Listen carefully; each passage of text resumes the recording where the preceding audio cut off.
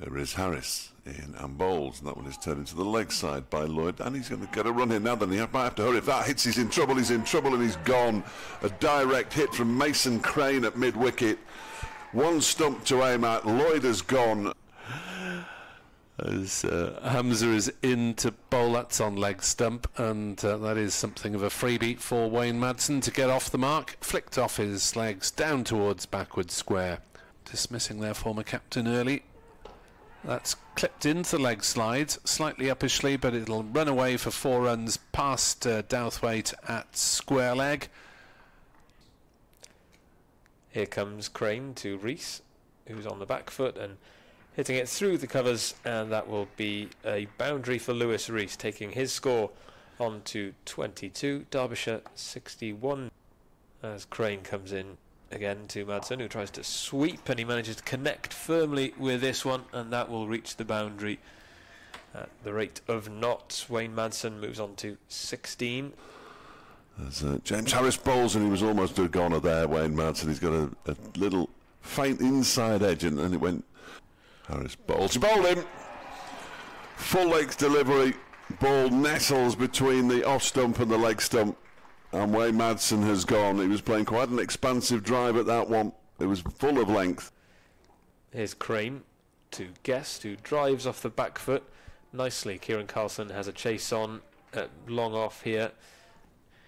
Bizarre mode of dismissal as he rocks back onto the back foot and pulls that through the mid wicket region for another boundary. Very firmly hit by Brooke Guest.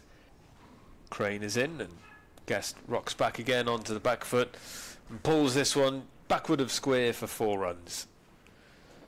In comes in to Guest, who drives off the back foot onto the offside very nicely through the covers for another boundary. Very stylish shot from Brooke Guest, who moves on to 18.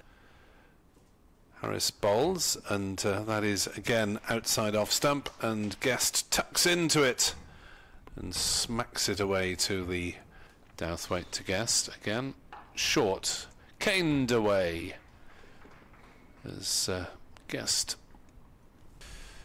in to bowl to Guest outside off stump, driven through the covers for four runs by the Derbyshire wicketkeeper.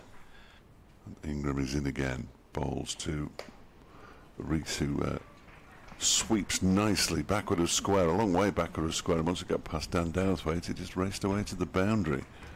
As Crane bowls, full toss that is hit back over long on and just about crosses the ropes by Brooke Guest. The score as Hamza is in and bowls. Jim always edged that in between uh, the wicketkeeper and the slip. It might have hit the floor as it was uh, right alongside Colin Ingram. Derbyshire look comfortable here as Hamza's in and Guest drives nicely through the offside and he'll get four runs for that shot. Guest approaching his half century now. He moves on to 47 wickets from one of them now as he's in to Guest who drives well through the covers and he'll get four runs for those and a fine way for Brooke Guest to bring up his half century. Crane bowls that is driven straight back down the ground for four runs by Luis Reece. Nice shot. Hits the boundary rope now. Crane is in bowls to the left-handed Reece who flicks it into the leg side out towards the straightish mid-wicket boundary for four. I think you could count uh, chances or full shots as this next one is swept by Luis Reece for four runs to backward square leg. Really nice shot from Reece. You could count the full shots on the of David Lloyd as that is floated up by Carlson and hammered by Guest out towards the cover boundary and it just about makes it over the ropes on one of the longest parts of the ground.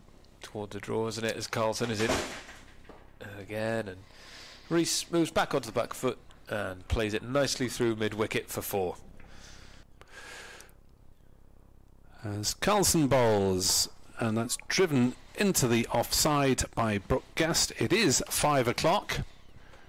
There are only 15 overs remaining of the game and hands are being shaken. It is a draw, ladies and gentlemen.